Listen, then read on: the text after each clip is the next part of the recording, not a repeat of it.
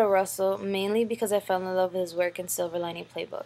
David is an Oscar winning director for his work in The Silver Lining Playbook, and he's also known for The Fighter, The Three Kings, and Flirting with Disaster, among others. David knows for his absurd humor and very serious moments.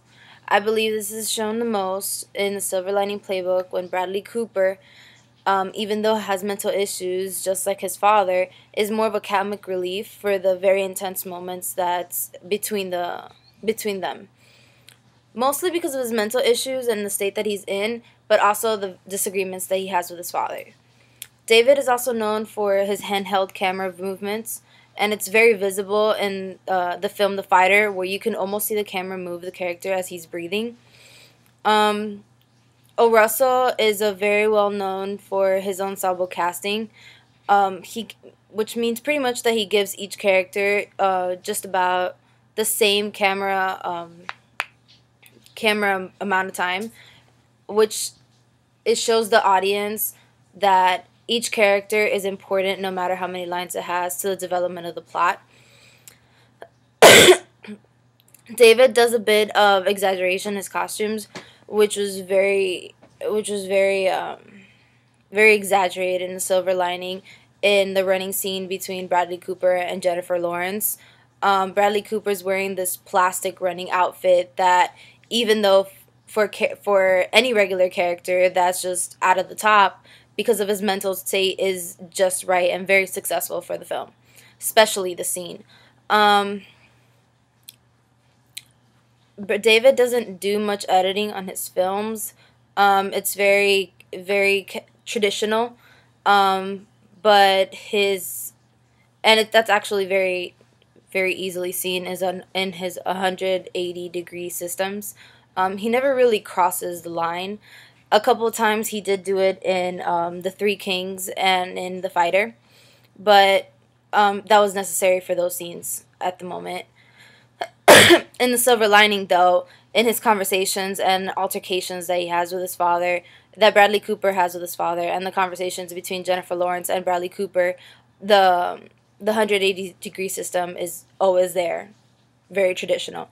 Um, he does do a lot of cross cutting in Silver Lining. Um, when Bradley Cooper's character has mental breakdowns and um, he's having conversations with Jennifer Lawrence, especially when they went on their non date.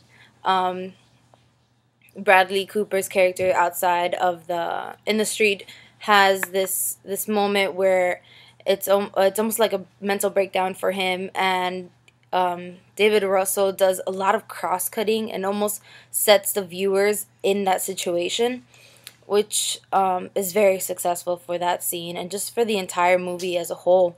Um, o. Russell incorporates a sound and soothing moments for for Bradley's character in The Silver Lining, um, but mostly when Bradley and Jennifer's characters are together to show the connection between them and the affection, then the effect that they have on one another.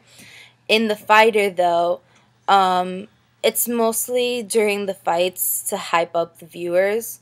Um, it keeps that excitement and that tension and that unknownness um, occurring throughout the film.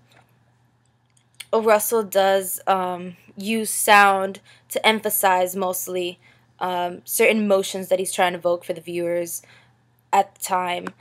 And he does a lot of um, a very uh, smooth transitions between um, the different the different scenes and keeps a lot of um, very common angles. He keeps a um, certain characters on the left when he's doing his 180 degrees.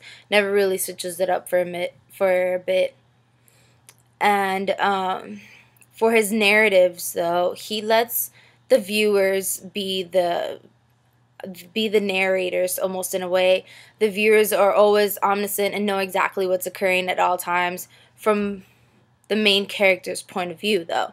He keeps he keeps them in a way knowing what's truly occurring behind the main character's um the main character's sight, but yet he doesn't reveal full information, letting keeping the viewers guessing on what's truly occurring um, towards the end of the film.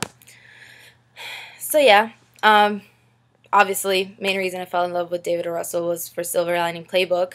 Um, I thought it was a very successful film.